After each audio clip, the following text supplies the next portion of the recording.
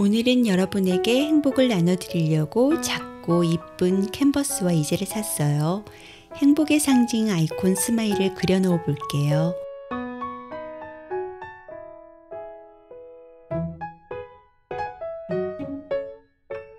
웃는 모습이 마음에 안 드네요. 좀 더 의미 있는 엄마와 아이를 그려놓으려다 다시 스마일의 얼굴을 그려봅니다.